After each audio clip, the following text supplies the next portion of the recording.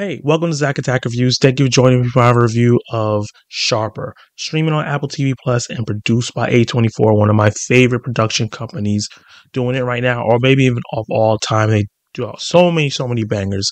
This one is starring Julianne Moore, Sebastian Stan, Justice Smith, and much, much more. Is this movie a really good con artist psychological thriller, or is it just kind of run of the mill? That's what I'm going to break down I break down the good and the bad of Sharper. Before I get into the premise and the rating, hit that like button, subscribe to the channel, and hit the notification bell so you can be notified my reviews, reactions, and much, much more.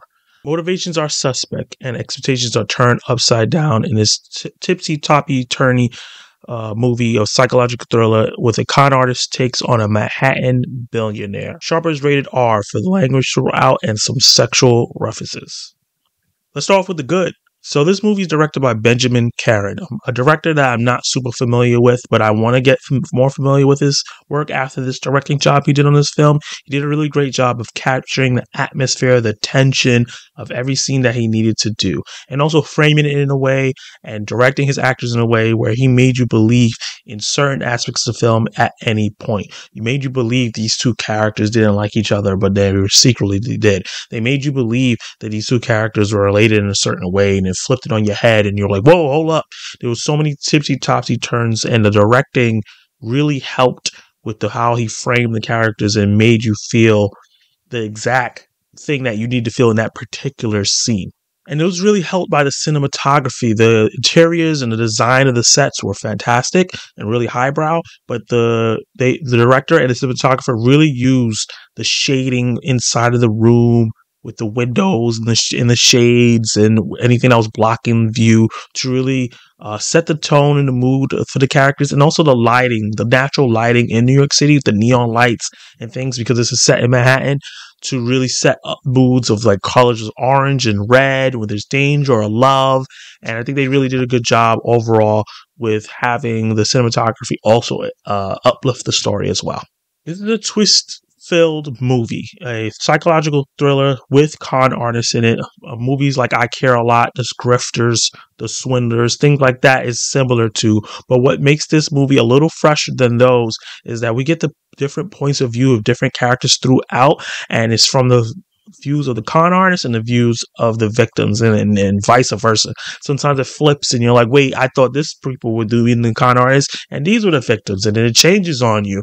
And they, the way they start out and they flow into the film from each section, from each character's point of view, it really fleshes out the character so you understand their point of view, why they're doing what they're doing, and how it connects to the next character. And I really like that way they did the film because I'm a big fan of when a movie has multiple storylines and it all kind of come together at the end to really make something impactful. And I think that they did a, a, little bit of that here. Julianne Moore plays Madeline, who she does a fantastic job in this film throughout. She has she's tasked with doing a lot of different things in the film, and she executes them all really well. She plays Madeline, who's a trophy wife to to John Lithgow's Richard, who's the billionaire she's married to. And while things seem like they're going well, her life gets interrupted by her low life son, Max, played by Sebastian Stan. And those two have a very interesting relationship that takes a lot of turns throughout the film that I didn't expect.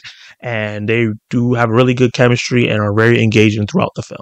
Smith plays the son of the billionaire who's not really a big fan of the money. He really more into social just agendas and books, and he really wants to change the world by helping everybody. And he doesn't really think about getting money, honey, hungry or anything like that. He gets swindled out of three hundred and fifty thousand dollars, which really puts him in a bind because not only is his heart broken for what happened, but it also puts him in a bad place with his father because that's a lot of money to be losing.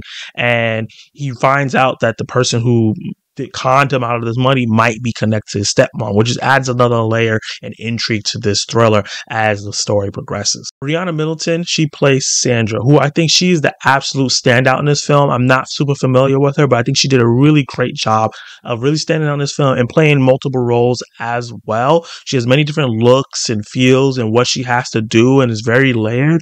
And I think she knocked out of the park and I'm really excited to see more of her. She plays Tom's love interest who gets mixed mixed up in all the con artist part and the drama and all the action that goes on in the film.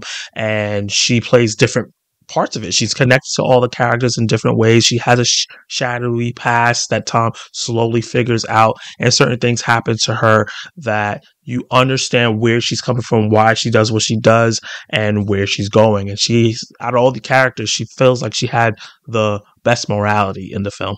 These four characters are the main characters in the story who you follow. There's the four sections that follow them, and that's how the acts are split up. And they all have fleshed out stories that come and intersect with each other and keeps the film engaging because they all have really good chemistry with one another. And the way the story comes together towards the end really, really, really made it worth the journey to watch throughout the film. Now let's get into the bad. So the movie stays at like a really steady pace. I think that the, movie was well directed. It looks good. The music was solid and the acting was really good. But the screenplay never ramps up in a way where you feel like there's like a you're leading to something big. When it gets to the point where it's get, going to end, I was like, wait, hold up, really? We're at the end already? And I it just it felt like it it it went like this and kind of just stayed like this throughout the film. It never ramped up to like other psychological thrillers to a boiling point where it finally burst. There is a bursting point, but the way it was executed didn't feel that as impactful as I wanted to be. So while the, it was still a solid ride and the ending is kind of satisfying, I felt like it never ramped up in a way to get really exciting which also holds back these interesting characters that they built up that had all these interesting past and different dynamics. And I think that they could have done a lot more with what they showed us and with the characters. They don't really get to shine bright, really bright at towards the end of the film. You want to watch a con artist psychological thriller with a beautiful cast, great cinematography, and a decent story. If you're not super familiar with this genre, this is going to be really, really impressive for you. If you're somebody that's seen a lot of movies like this, then this is going to be a good watch. It's not revolutionary, it's not going to blow you away, but it's something that you can click on Apple TV Plus if you have that service and check it out how I feel overall, I'm not upset that I watched this movie. I actually really liked it. I think that all the performances really good. I enjoyed my time with the film. It could have been a lot better if they ramped up the intensity a little bit towards the end in a more meaningful way, especially with all the intersecting storylines. But overall, I think that they did a good job, and I'm really excited to see what some of the younger actors in this film do and what this director does because he does such a great directing job. So, with that said, I'm going to give this film a C. Did you like it? Did you hate it? What would you rate sharper? Did you like the film? Let me know in the comments below. Tell me what your favorite parts are. And if you are on the edge or didn't even know about this film, are you going to check it out on Apple TV Plus? Let me know in the comments below. Like the video if you liked my review. Subscribe to the channel and hit that notification bell so you can notify my reviews, reactions, ranking lists, live discussions, and much, much more. And you can watch more of my content right now.